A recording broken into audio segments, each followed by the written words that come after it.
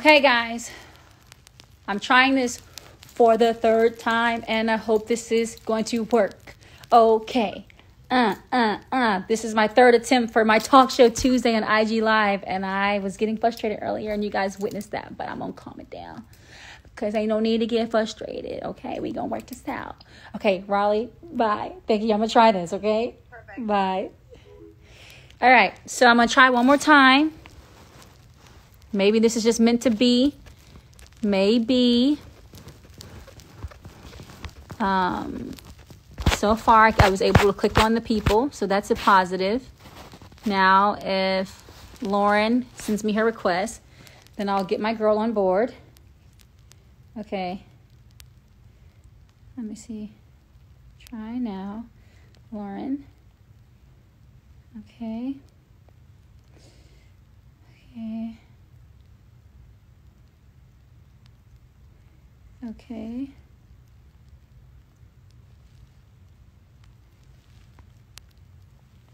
All right, let me see this, guys, if this works. Oh! It was like waiting for her, and then it says unable to join. I don't know what's going on. This is terrible. This is really terrible. Let me just check some news. How about this be one of our topics today for Talk Show Tuesday is unable what unable to join. I need to call someone at Instagram because they got to help me here. Unable to join um, IG live. Okay, let's see why this happens. If the viewer doesn't have the ability to use two person video, instead of their account name, it will read unable to join. Choose your guest from the list of viewers who are able to join your live video. Tap the person you wish to bring on your live broadcast from the list. If the viewer doesn't have the ability to use two person video instead of their account name, so maybe there's something wrong with Lauren's thing.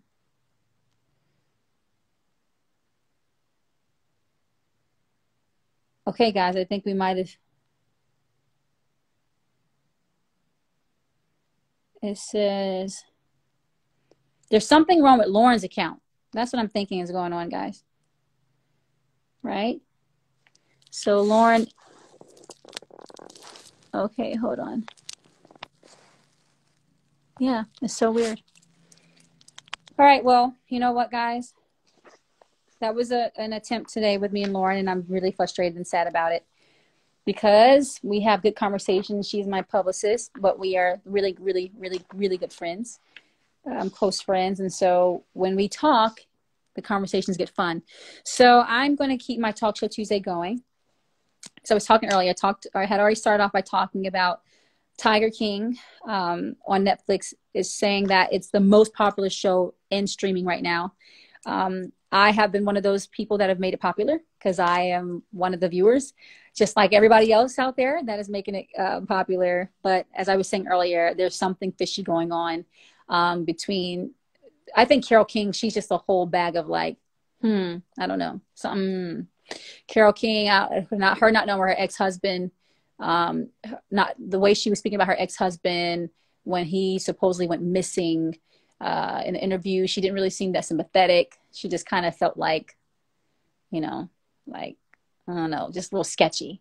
Um, Doc and also um, Joey Exotic. Joey Exotic is like straight up entertainment. So I haven't seen the big juice that's that everyone's been talking about um, regarding him.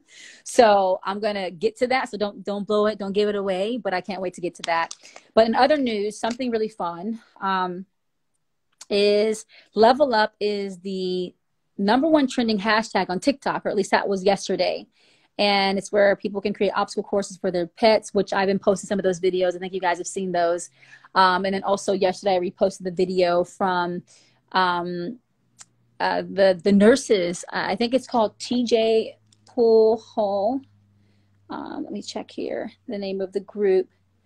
The nurses, the doctors, and the nurses of and I want to get it correct because they have a unique system where they get it says the nurses afloat and per diem. It's for the nurses and doctors at Jefferson Hospital, and they basically, if I'm not mistaken, mistaken, they get paid per diem for their compensation. They kind of volunteer and they rotate. um, in the program, and that was pretty amazing seeing them all jam- dance and jam out to level up, and it was kind of inspiring and touching, and um, just everything all at once, just to see them out there, knowing that they're sacrificing every day, um, whether it's time with their family, whether it's their own health, um, putting them on their own selves at risk um, to go in there and take care of people during this tough time. Um, it's pretty amazing um, to see uh, people like that of our world, the, the, the nurses in the darkness of our world, you know, in work mode. And um, it's we're really grateful for each and every one of you. I know I posted that before and I've tweeted about it, but seriously, we couldn't do this without you. Um, you know, I, I, think we all know what it's like when we have a simple symptom of anything and we're sick, and to know we have the, doc- the, the doctors and nurses of our world to be a safe place um, it is the most comforting thing. And so this time they're overwhelmed. Um, uh, many of them are overwhelmed. Many of them are probably also a little scared when they're going to work.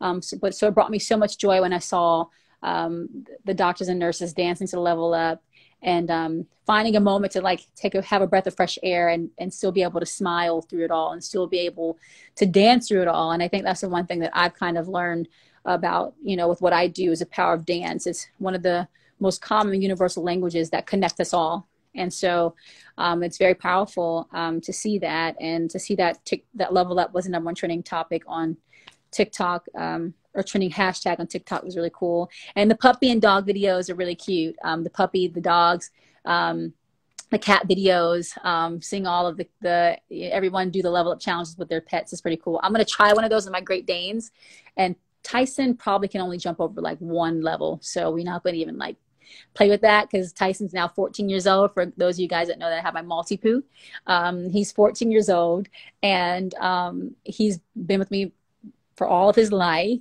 And he is, I don't think Tyson can hear anymore, to tell you the truth.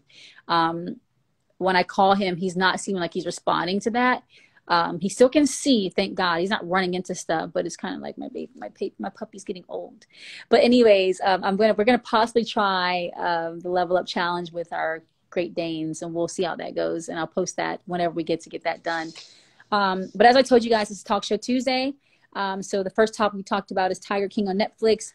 Level up um, being one of the um, being the number one trending hashtag on TikTok. Please keep it going. I look look forward to seeing more videos and seeing everybody just jam out and um, find ways to stay joyful during this time.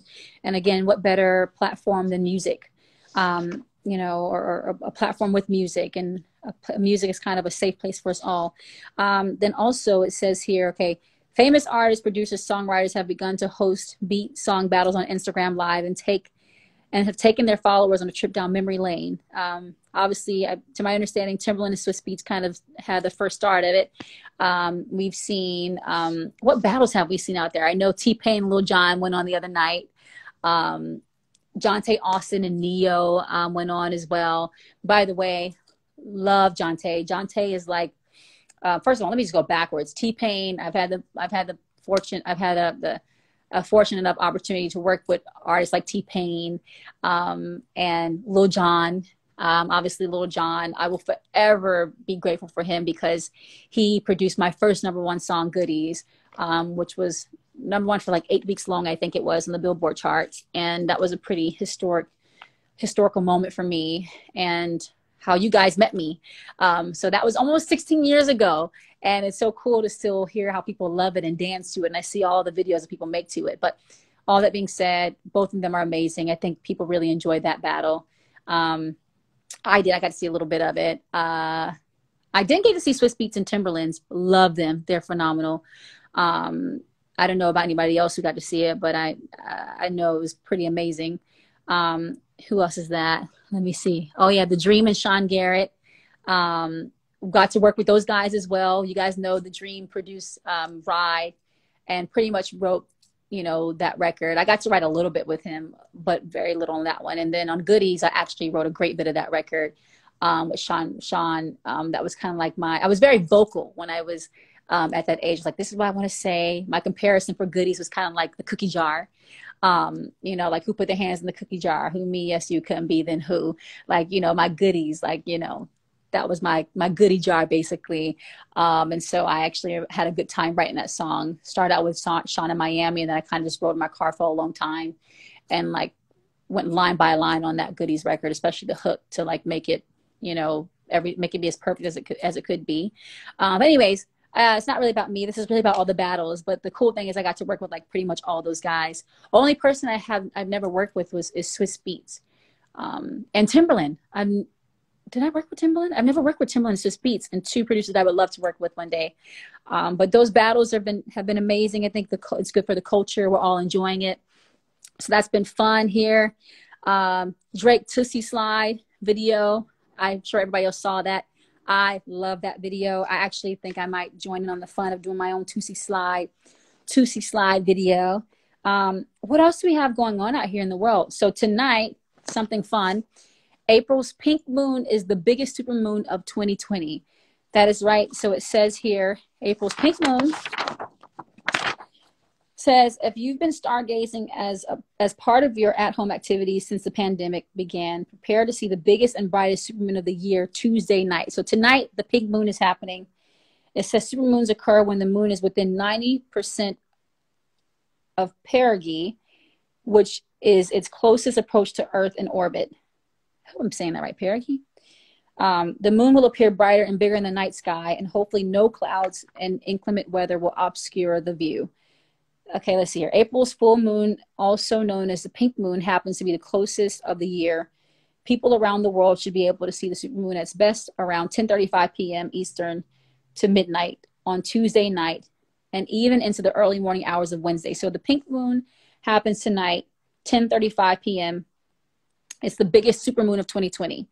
20, 10:35 p.m. Eastern, so 7:35 p.m. PST for all of us West Coasters let's see the pink moon. That's another kind of like bright moment that happens in this. That's going to happen in this world right now, um, during all this during this tough time we're all going through.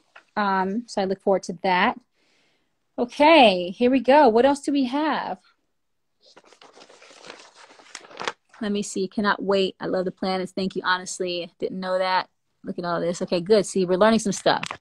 Learning some stuff here. Ciara, when are you releasing new music? Of course, we have time for all that because right now we're just trying to keep our head above water. Um, all right, so the next thing here we have is Wimbledon is canceled for the first time since World War II. It's crazy. It's crazy, guys. There's so much happening right now. Um, all right, despite many cancellations, NFL draft will go on as scheduled. So they're going to be doing a virtual um, viewing for the NFL draft, I guess, or so they'll be selecting virtually. Um, what else has happened here? That actually happened last week. And then I have a few more fun things that I'm going to throw out here. Okay, I have one that I haven't been able to read on that much, but I think that this is pretty um, sad and unfortunate. This headline definitely makes me want to read into it more, um, but it says, a new COVID 19 crisis domestic abuse rises worldwide. So, again, this is my first time reading this, so I have no idea what I'm about to read, but the headline alone definitely makes me uh, pause and makes me want to read more. And it's very sad to see this headline. Um, add another public health crisis to the toll of the new coronavirus. Mounting data suggests that domestic abuse is acting like an opportunistic infection flourishing in the conditions created by the pandemic.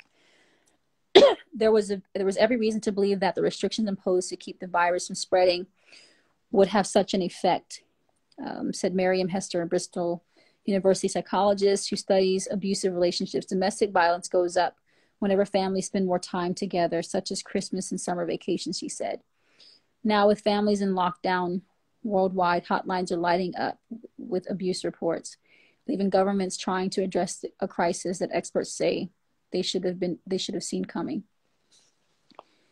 So this is um, very, very, very sad to hear. Um, you know, I think my biggest thing to any person experiencing anything like that, please, um, you know, dig dig deep down within your within yourself to find the courage in any way that you can to ask for help. You know, um, you know, I, I think that it's so crazy. It's just kind of like sometimes we can't see the power that we really hold within ourselves, and it's just simply having the courage or or, or knowing that the courage is within us. Because sometimes I don't think we even have the courage or have the strength to um, to speak up and to you know not be afraid to ask for help. And it's so sad because these are things that we don't think about in the midst of us all going through um, COVID. Is the other things like this, you know, the domestic abuse piece of it all and things like that. I didn't even think, I never would have thought about that until I saw this article.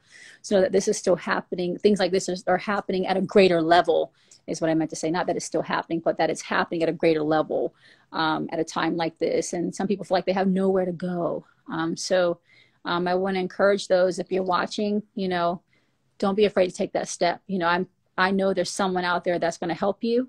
Um, and they have the hotlines to do that, um, which I actually the next time we talk, I definitely want to make sure I get more information. Now that I know this, it makes me want to learn more about it. Um, but don't be afraid to speak out and reach out. You know, I, I think most of us in this world, you know, that uh, most of us in this world want to find a way to help people like that. So if you guys suspect anything is happening with your friends or or your family members, anyone, like don't be afraid to reach out to them as well and um, give them a safe place to go to. Um, this has to stop. It's so sad this is happening. Really sad. Um, and then, um, and then so, and then, you know, speaking of this on the other side, it says that love, hashtag love is the number one trending hashtag on IG. How about that? Um, I think right now love is truly the way, right? Truly the way that we can get through this tough time. And um, again, I really believe we will get through this way, but if we can lead with love, um, even when we're in the house with all of our loved ones, it gets crazy. Not every moment is perfect. Um, I think sometimes we will all drive each other crazy in this moment um, because it's like walking in these four walls with the same people every day. I love them with all my heart, but this is like cyclical. I'm going to go crazy. Um, but if we can lead with love um, in this time, you know, I think that we will um, truly prevail. And I think we'll, we'll come out better on the other side of this. I think we'll learn a lot more about ourselves. And, um, you know, I think we really will come out stronger. But if we can lead with love, love is the way. Um, and I want to encourage everyone to do that. Okay, unfortunately, my time went kind of crazy today, so I'm so sorry for my janky uh, talk show Tuesdays because I really wanted to get it started with my publicist Lauren because me and her have good chats. But um, to those of you guys that just tuned in, um, you know, again, Talk Show Tuesday is what I'm going to start doing. And I want to talk about all the current events in the world. And I promise you guys, next week will be a better week for my flow. But I think it's always fun to talk about current events and kind of see what's happening in the world and us all being able to be educated about things together. I think is really important. Um, and us all um, staying um, connected as best as we can during this time. So I love you guys. And I'm grateful for each and every one of you. Unfortunately, I have a conference call that I have to get on. Again, excuse me, I feel like I'm working more than, I don't know, it's just weird. It's like working from home, the new norm.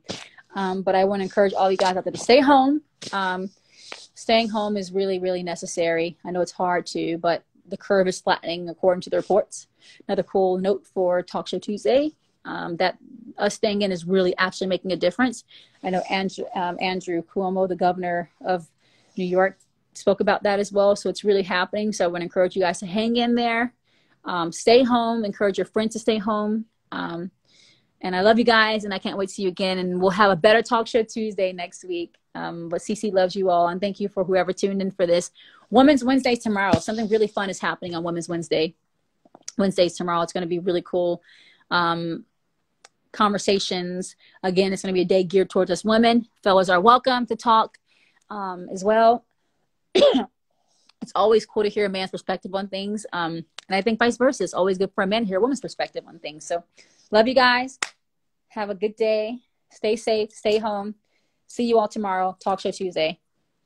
Peace.